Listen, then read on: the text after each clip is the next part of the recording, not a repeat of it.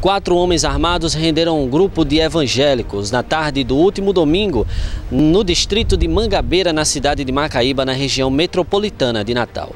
Os indivíduos foram muito rápidos na ação criminosa. Segundo o que foi passado para a polícia, as famílias estavam lá no distrito de Mangabeira.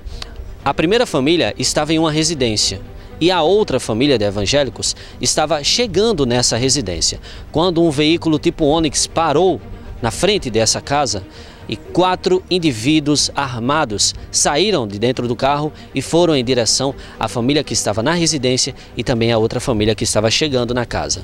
Celulares, pertences pessoais e também um veículo de uma das famílias foi levado por esses criminosos. A polícia militar foi acionada e realizou diligências atrás de tentar encontrar esses assaltantes.